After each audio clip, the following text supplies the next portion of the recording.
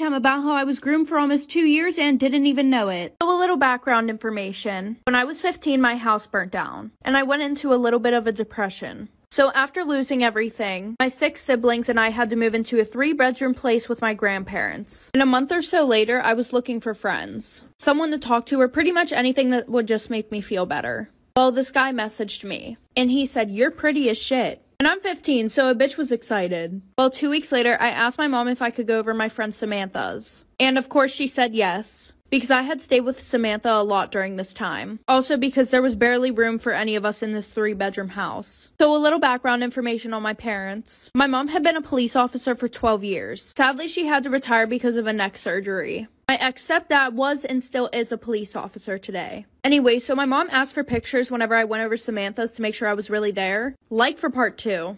Story time about how I was groomed for almost two years and didn't even know. So, like I said, my mom used to ask for pictures to make sure that I was really at Samantha's house. Well, Samantha lived about 10 minutes away from the guy that I was talking to. Every time that I went to her house, I would leave at about 8 p.m. and go over to his house. And he was 26 years old. And obviously, I knew my parents would freak the fuck out if they found out. And we had planned to keep this a secret until I turned 18. So that way my parents couldn't tell me that I wasn't allowed to be with him. The flash forward to about three days before I turn 18, my mom comes into my work. She walks up to me, shows me a picture of him, and says, Who the hell is this? So of course I say I have no idea who the hell she's talking about. She said okay and then left. Well, as soon as I got home, her and my dad were sitting in the living room, waiting for me to explain who that man was. So I told them everything. They decided not to take legal action, but my mom explained to me that I was so young and he took advantage of me and stuff like that, so I never saw him again. Am I the asshole for demanding my fiance and his mom pay for a new wedding dress? Me, 26 female, and my fiance, 28 male, have been engaged for four months. We're planning on having our wedding on October 18th. My future mother in law kept annoying me and sending me suggestions for choosing the right wedding dress and said that she knew better and tried to get me to approve of wedding dresses that she chose.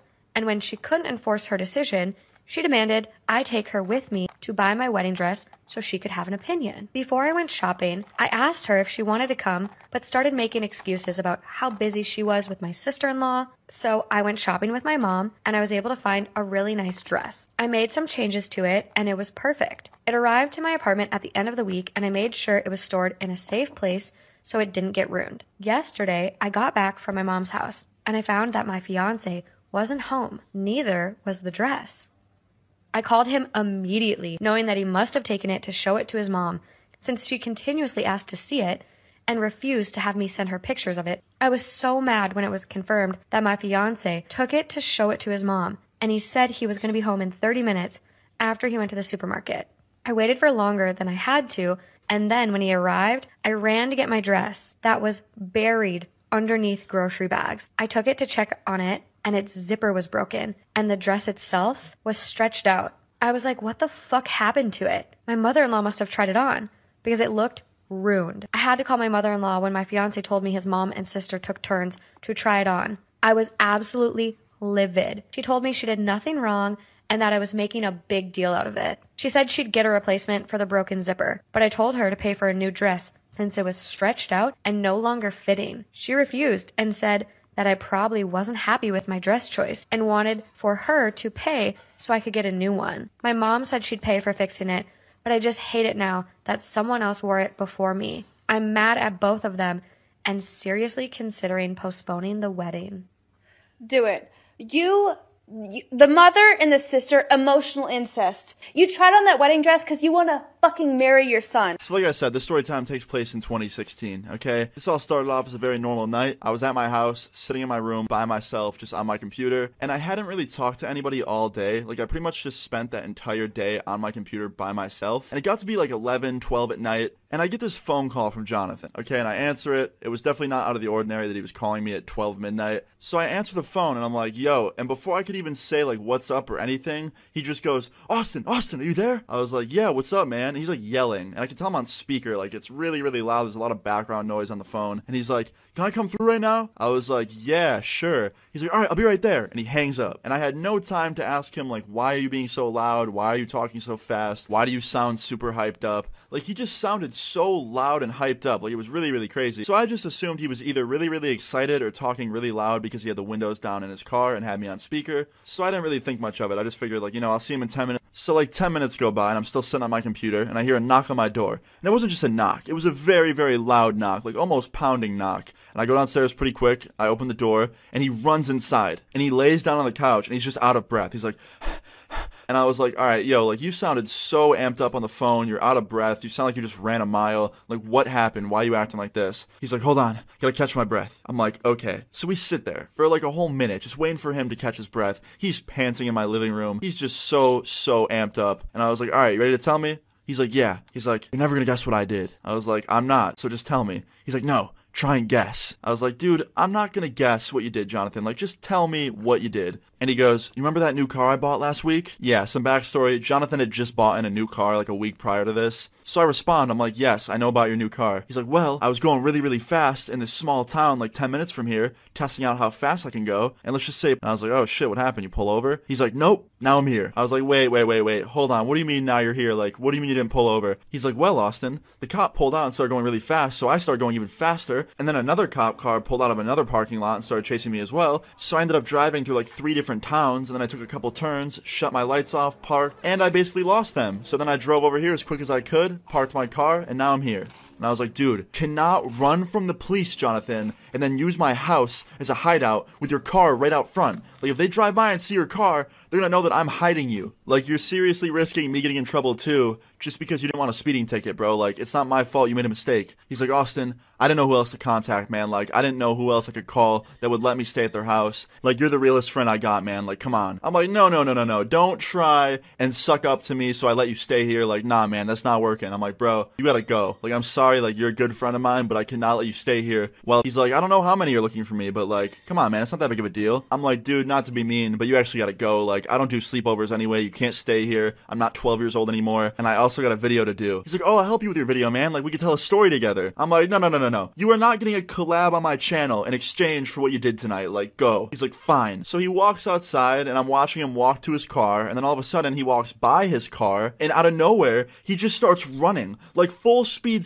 sprinting down the street. So I go outside and I yell, I'm like, Jonathan, what are you doing? Take your car. And he turns around and he yells, he goes, No, I'm running home. I was like, What are you talking about? That's four miles. You're not running home. You're the most unathletic person I know. He's like, Well, things change, Austin. And he starts running away. I couldn't even believe what I was hearing. So I go back inside, I sit down. Now I'm filled with anxiety because not only is my friend running home without his car because he left it in my driveway, he also could potentially get arrested if the police find him. So I'm just worried. I'm also, I'm just freaked out, right? So I sit there for like two hours waiting to hear from Jonathan, and he finally calls me. I'm like, yo, what's good? He's like, yo, what's up, man? I got home a little while ago. I'm like, you actually ran home? He's like, yeah, I stopped at a corner store for a bit, but I'm home now. I'm like, bro, you gotta come get your car. Like, have someone drop you off, come get it. Like, I don't want your car here. He's like, dude, I don't want it here either. Like, my parents would kill me if they find out that I got in trouble. I'm like, dude, you didn't get in trouble, so come take the car, put it in your driveway where it belongs, and don't leave it in mine. He's like, don't worry, bro, I'll come get it first thing in the morning. I'm like, bro, what? And he hangs up on me. I'm like, yo, this dude is ridiculous. Like, I was so mad at him. So, anyway, I end up sitting there on my computer all night, really, really anxious. And the next day comes along, I didn't sleep at all. I get a call from Jonathan at 9:30 in the morning, and I answer it. I'm like, "What's up, man?" He goes, "Hey, man, I'm coming over to get the car now." I'm like, "Good." He goes, "I got caught by the police."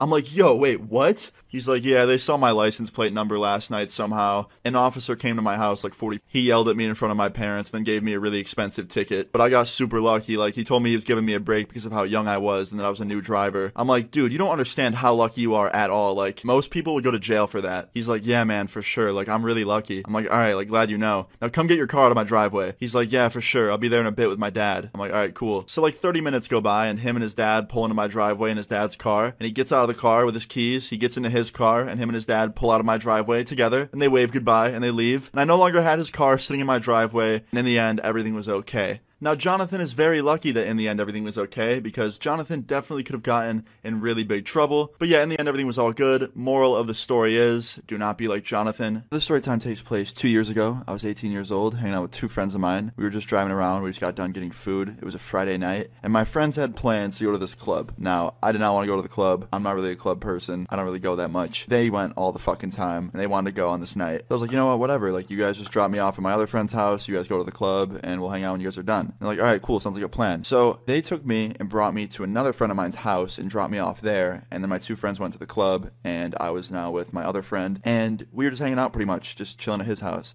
and he smoked a lot of weed, like all the fucking time. He was always stoned, and it's a crucial part of the story time. So after a few hours of hanging out at his house, we get a call on my phone from my two friends who were at the club, and they're like, "Yo, dude, we're done with the club. Can you come pick us up?" And I was like, "Do you want to go pick them up?" I asked my friend. He's like, "Yeah, let's do it." So me and my friend drive off from his house to this club to go pick up my other two friends, and we pull up to the club, park out front, and we're just waiting there. And my friend's like, "Yo, you mind?" I was like, "Yeah, do whatever, go for it." So we start smoking a blunt in the front seat of his car with the window down, and there's like all these people walking by just looking at us because they were all leaving the club. And then all of a sudden we see my two friends come out and we're like, guys, over here. And they both come up to the car and my one friend was so shit faced. He had just turned 21 around this time, so he was like really celebrating. And yeah, he was just really fucking drunk. That's why he wasn't driving. He must have left his car like in the back parking lot or something for the night. And uh, he gets in the car and so does my other friend. And we're all just kind of packed in my friend's car now. My friend's finishing his blunt. And then all of a sudden I hear my one friend, the drunk one, say, Holy shit, is that the earth science teacher from our school? And we all start laughing because we think that he's just pointing out some random person that happens to look like a teacher from our school. But then I look and I actually see the earth science teacher from our fucking high school that I went to. And I was like, holy shit, that's actually him. And my friend's like, no way. And my friend rolls the window down and starts yelling his name.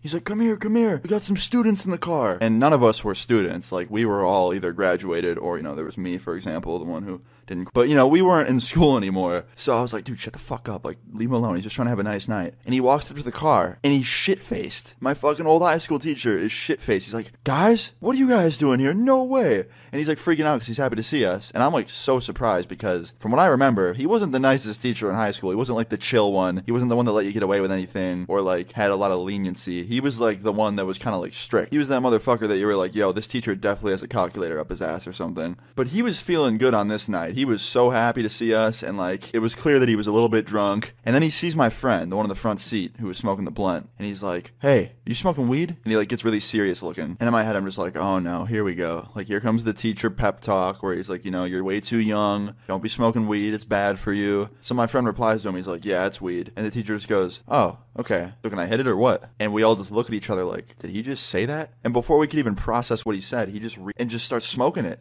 And we're all just like, what the fuck is happening right now? And he takes like two pretty good puffs and then hands it back to my friend. And he puts his arm around his girlfriend, his date that he was with. And then he looks at my friend and he's like, all right, don't tell school about that one. All right, I gotta get going, guys. Have a good night. It's good seeing you. He turns around and he starts walking away with his girlfriend. And me and my friends just look at each other, and my friend just goes, He's definitely my new favorite teacher. And we all just start laughing our ass off. And that was pretty much one of the funniest moments of my life, to be honest. And I hope wherever that teacher is, he's living his best life. First of all, I lost some kids. Okay, let me start over. I was in the computer lab, so I had all grade levels, from kindergarten to fifth grade. I had to go pick up the first graders and the kindergarteners from their classrooms and then bring them back. No one showed me the proper way to do that. No one showed me how to create a line. So I'm like, it's common sense. Let me just do it the way I kind of remember from when I was in fifth grade. Actually, fourth grade, because I wasn't in elementary school in fifth grade. That's a different story time. So I just did my best. And I thought it was going pretty well, but these things happen. I thought my line was pretty alright. I'm like, okay, these kids are actually listening to me and this is a pretty good line. A teacher saw them and then starts screaming, this is a hot mess! Not to me, but to the kids. Eyes facing forward, feet facing straight, volume at zero! These kids turned into little military soldiers. Little first graders. It was like automatic, like robots. Again, I don't think my line was all that bad. She was screaming at this kid like, you don't need to say anything right now. And the kid was like, okay. It's like, I was like, what is happening? Sorry, there was a man. This is probably the reason that I was told all day long, she's so nice. I would pass by the halls, kids would see me and be like, I like her, she's such a nice sub. Or she's really cool, I really like her. Like, why can't you stay with us every day? And it's not that I'm not disciplining the kids, I am. I'm just not in the kids' face telling them volume zero. But hey, she's a pro, she got them all quiet. The teacher next door to me was shouting all day long. And again, the kids were great. We talked about anime, we did breathing exercises. I gave out the stickers and they really enjoyed them. We had fun. I just can't imagine taking care of a group of kids every single day for an entire school year. Mad respect to teachers. I had mad respect before, but like, oh my gosh. How could you just come to work and scream? Because I, uh, one of the teachers was helping me out and she did say, yeah, that teacher's screaming all the time. She's like, her group of kids are rough. And that's it. That's it. You just get a, a group of kids that are rough and, and you're just screaming all year long? No, I'm sorry. I'm sorry. she never stopped shouting. Nope. When I was returning the first graders, three of them thought it would be great to just run back to their classroom without letting me know. And since I haven't been to this school since I was in second grade, I had to check the map every two seconds. That's when they slipped away. I returned all the kids, counted, and looked and saw that there were none left. I obviously started panicking. Went to the classroom with another teacher, asked if those students had returned, and of course they had. Oh my gosh. And the teacher was like, It's okay, it happens. They know where they're going sometimes. I'm just gonna stick to middle school and high school, guys. Thanks. Story time about how I found my mother's stalker living underneath her bed. My mother and father divorced shortly after I was born. My mom has raised me all on her own, so her and I are extremely close. I would do anything for my mother. Back in the 90s, my mom became a somewhat successful model. She did runway shows and campaign ads. She began dating a photographer when I was about 8 years old. But something about him just rubbed me the wrong way. He was very controlling of my mother and always wanted to know where she was. This was a time before cell phones, and everywhere she would go, he would always end up being there. A few months into the relationship, my mother decided to break up with him. He threatened her and told her that he would make her regret it. He began calling our house at midnight, throwing rocks at my mom's window. One morning, my mom woke up to a knife in her tire. He really was trying to make her regret it. This is when my mom realized that we needed to move away and get away from him. We moved to Atlanta and my mom began getting more modeling work. She started earning more and we moved into a big, beautiful house. It had two floors, a basement, and a huge garden. We loved the house. Soon after we moved in, I started noticing some weird things. Sometimes windows would be wide open when I got home from school as well as random items in the garden. I came home from school one day and went to my mom's room. That's when I found a man's boot underneath her bed and her window wide open. Disclaimer, this is not my story time, it was sent to me on Instagram. After I found the boot under my mom's bed and her window wide open, I told her. My mom began to cry and was really scared. By the way, I was 12 at this time. Disclaimer this is not my story time, it was sent to me on Instagram. My mom went around the house locking all the windows and doors. She told me if I ever saw anything like that again to call the cops. I could tell she was really scared and this terrified me. Every day after school, I would go straight to my mom's room and check underneath her bed. And weirdly enough, I started finding random items. One day I found a pocket watch. A few days later, I found a handkerchief. And that continued for about a month. Mom and I decided to call the cops and give them all the items that we'd found. The cops told my mom there was nothing they could do because there was no physical physical harm done to her or me. Later that night, I wake up to my mom screaming. The house was dark and I ran down the hallway. Suddenly, a dark figure walks out of my mom's room. The black figure looked at me and walked away. I was frozen and couldn't move. The cops asked my mom what the man did. She said that when she woke up, she saw him standing in the corner of the room dressed in black with a black mask, and that all he did was stare at her. When she asked him what he wanted, he told her you. The cops tried to convince my mom that it was probably a robbery. She told him about her ex, and they said it was probably nothing and to just forget about it. A few days later, I come home from school and check underneath my mom's bed. There I found a handwritten note. You'll never guess what it said. It was terrifying. Disclaimer this is not my story time. It was sent to me on Instagram. Under my mom's bed, I found a handwritten note from her stalker. I couldn't bring myself to read it. I gave it to my mom and she read it. She cried and told me to pack a bag. That night, we went to sleep at a hotel and the cops came to check our house. The cops said they found nothing in the house and it was safe for us to come back. Two days later, I decided to come home from school early. But I knew that my mom wouldn't be home and I would be all alone. When I walked up to the house, I noticed my mom's bedroom window was open. I walked slowly up the stairs and swung the door open. And that's when I saw a man's foot sticking out from underneath my mom's bed. When he heard me open the door, he pulled his foot in. I screamed so loud and closed the door behind me and started running down the stairs. That's when I heard him open the door. I could hear his footsteps behind me as I ran down the stairs. As he ran down the stairs, he tripped and fell. I could hear him yelling in pain. I ran straight to the neighbor's house. She already knew about the break-in and believed me right away. She called the cops and my mother. Her husband decided to go check the house, but when he came back, he said there was nothing there. And I told him that he fell down the stairs, the cops thought he might be in the hospital if he injured himself. And there they found a man dressed in black. That's when the man told the cops that he was my mother's boyfriend and that he came to visit us. They thankfully arrested him. When they showed my mom the man's mugshot, she recognized him right away as her ex. Turns out he had been breaking into our house for over a month, and he would sleep there every night underneath my mom. He was in prison for 10 years but got out last year. My mother and I live in fear. Alright, y'all. I am shook. Just went to Subway because I wanted to eat fresh or something like that. And I will be damned if it was not the worst experience I've ever had. Subway, I'm calling you out. You know what? I'm not even gonna do that because Subway's pretty delicious. But uh, Karen from Subway, I'm calling you out. I get in line and there's only one lady in front of me, so I'm thinking this is gonna be a pretty quick trip. All right. No, she is ordering 14 sandwiches. Lady making the subs already looks annoyed, and you know what? I don't blame her. I'm annoyed too. 14 sandwiches. Who does that? Once that's finally done, I figure, okay, I'll just get my sandwich and I'll be out of here. it got so much worse. I'm fully aware that Karen, who, by the way, is the sub maker, is having a bad day. So I'm minding my manners. I'm saying, please, thank you, yes, ma'am, no, ma'am, just trying to get my Italian BMT. But Karen's not having that today. Karen is pissed off. I am not joking when I say she grunted every time she put a piece of meat on that sandwich. Like, like she's lifting 20 pound barbells. Bitch, it's ham. Then I ask her to toast it, and she just says no. What? I wasn't even gonna mess with her, so I was like, alright, let's move on to the veggies. Bad idea. I ask her for lettuce, I get a tiny little sprinkling. And then I ask for pickles. And this woman looked me dead ass in the eyes, picked up one pickle, and puts it on my sub. What am I supposed to do with one pickle? Are they like an endangered species or something? And nobody gave me the memo? But I remain calm. Uh, can I have some more? Yeah, I'll be damned if she didn't keep that eye contact and put a single jalapeno on my sub. Oh, Karen. I'm starting to get mad now. I hate to admit it, but I turned into Donna.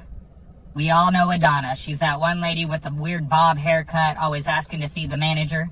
She usually looks kind of like this. Asked her as politely as I could, ma'am, can I talk to your manager, please? Yeah, this lady looked at me and told me that, yeah, she'd go get her manager, but only so she could tell her manager that she's gonna clock out and meet me in the parking lot to kick my ass. Where am I? And that just turned into this really awkward staring contest for 30 seconds. This lady looked at me and told me that, yeah, she'd go get her manager, but only so she could tell her manager that she's gonna clock out and meet me in the parking lot to kick my ass. Where am I? And that just turned into this really awkward staring contest for 30 seconds. I was gonna reenact that part, but I don't think I need to subject y'all to that. So after the world's longest staring contest, Karen finally goes to get her manager.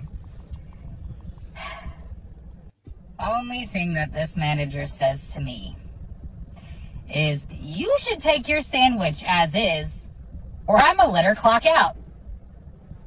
Yeah, I didn't know what to do, so I left. And now I'm getting home with my raggedy ass sandwich. And just in case y'all think I'm joking about all this, I'm gonna go inside and show you my sandwich. There's the jalapeno. And there's the pickle. She forgot the sauce? If I die, tell my mom I love her. I'm going back in. Ooh, Karen, you gonna give me my damn sauce? Ah! Well, I just had the worst date of my life, and I'm probably going to jail over it. Let me just start by saying I've always been awkward. I just didn't know it could get this bad, okay? Guys, it really wasn't my fault though. Like, she was super pretty and I was super nervous and not only did I manage to knock my drink over twice, the second time I knocked my fork off the table too, and we both go to reach for it at the same time, and I headbutted her right in the nose. There, there was a lot of blood, like a lot. Of course, she stands straight up, both hands over her mouth, crying, and I'm still knelt down on the ground trying to find the freaking fork for God knows what reason. And everybody starts clapping. And I, I, I guess at the time I thought they were just making fun of us, you know, like when a waiter like spills stuff. Uh, that's not what happened. As you can imagine, I'm freaking mortified, but she took it really well and she was okay. So we sat back down and everything was fine until about 10 minutes later. Actually having like some good conversation and then the waiter brings a cheesecake with the words congratulations written on it from the couple that's a few tables down. Naturally, we're both looking at this waiter really confused, right? And then he explains that the cake is to congratulate us on our engagement. Seemed that the couple down the way only saw the second half of that interaction because they thought I had proposed. At that point, I just asked for the check. You know, it's the least I can do considering I just gave her an unscheduled nose job. And then we headed outside. With me, there's a tendency for bad things to always get worse, and that's exactly what happened. You see, when we were saying goodbye, I decided for God freaking knows what reason to say, I'll call you later to schedule the wedding.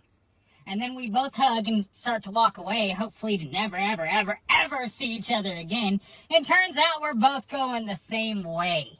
I don't know why I am the way that I am, but I felt awkward and I grabbed her hand. And so we started walking to the cars holding hands and we walked past my car and got to her car and then I like shook her hand off mine and then walked back to my car. But my car wouldn't start so I had to walk back to her car and ask her for a jump. Yeah, she just rolled up her window and drove away. Which, fair. Anyway, so I just got home and I'm never leaving again. She just texted me. She's getting her restraining order. Again, there. Six years ago today, I went viral for the very first time on Facebook. It was an event that catapulted me on the wildest journey, and it is something that I want to share with you today. Nearly eight years ago, I had a gorgeous, curvy, mid 40s client book me for a boudoir session in a beautiful hotel. And I thought she looked like a goddess, but as most women do, she had a request. She came to me and said, I want you to Photoshop all of my cellulite, stretch marks, loose skin, wrinkles, just make it go away. I want to feel gorgeous just once. So I did exactly as she asked. I went home after her shoot and I made every last mark, dimple, wrinkle disappear. I turned her into the woman she told me she had dreamed of being her whole life. Christmas rolled around and she gave her husband the beautiful album we had created together. And a few weeks later, I received this email from him Hi, Victoria. I am Blank's husband. I am writing to you because my wife gifted me with her boudoir album for Christmas. I don't want you to think that in any way I am upset with you, but I have some food for thought that I would like to pass on. I have been with my wife since we were 18 years old, and we have two beautiful children together. We have had many ups and downs over the years, and I think, well, Actually, I know that my wife did these pictures for me to spice things up. She sometimes complains that I must not find her attractive, that she wouldn't blame me if I had found someone younger or more beautiful. When I opened the album that she gave me, my heart sank. These pictures, while they are beautiful, they are not my wife. You made every one of her so called flaws disappear, and while I'm sure this is what she asked you to do, it took away everything that makes up our life. When you took away her stretch marks, you took away the documentation of our children. When you took away those lines around her eyes, you took away over two decades of our laughter and our worries. When you took away all the cellulite, you took away her love of baking and all the goodies we have eaten over the years. I am not telling you to make you feel horrible. You're just, I know you're doing your job, and I just want you to know that I'm here to thank you seeing these images made me realize that I honestly do not tell my wife enough how much I love her and adore her just as she is. She hears it so seldom that she actually thought perfect images are what I wanted or what I needed her to look like. And I have to do better. And for the rest of my days, I'm going to celebrate and try to help her find the beauty in the body she deems imperfect. Thanks for the reminder. While so many people have had opinions about this letter over the years, it sparked something in my heart that forever changed how I photograph women and why I won't airbrush you to perfection anymore. You deserve to love the skin you're in and to feel like home in the body that bears the story of your life, not the body I. So I had my kids the other day for fall break, like the whole fucking week, right? And as you can see, I got a new truck. Hey, cause it's my birthday, bitch. Alright? And I'm taking them home. And as you can see, the truck is black. My kids get in a car, truck, whatever. It's a Silverado, all right? And all you truck people can shut the fuck up. This is what I could afford. I don't want a Dodge or a Ford because I could only afford a Silverado, okay? They get in the truck and they're like, Daddy, Daddy, let's play a game. Let's play a game. And I'm like, no, let's play shut the hell up and drive the quietness home. Fuck no, let's play a quiet place. Fuck no, they can't do it. So they're like, let's play I Spy, let's play I Spy. I was like, all right, fine, fuck it, whatever. And they, they came out swinging like Tiger Woods' wife, Buddha, all right? And this is what happened. The, the first round, all right, they came out mashing buttons like a 13 year old in Mortal Kombat. They just wanted the fucking fatality. My middleest child, second oldest, goes, I spy with my beautiful little eye something yellow. I, there ain't a yellow fucking thing in my car. I'm thinking it's the sun, a caution light, the lines on the ground. My oldest daughter's first guess, like she had just unmasked the villain in Scooby Doo, all oh, right, roll raggy, like Scoob. All right, she goes, Daddy's teeth. Mother, what the fuck? I, and my, my middle child was like, ding, ding, ding. She's like, yeah, daddy's teeth, yellow. You got it. It's your turn. Hold the fuck up. We're not just going to switch turns like you just didn't hurt my feelings. They are becoming young women because their jokes fucking hurt. I was like getting an email from Jon Gruden. I was just baffled by their unprofessionalism, all right? And like every woman over 30, I was fucking offended. And now I understand why they want to talk to the manager. I want to talk to the kidager. You understand it, It hurt. That shit came out of left field, all right? Kids, man, they just hurt your feelings all the time. And I'm paying to hang out with them. That's the fucked up part. Goddamn child support.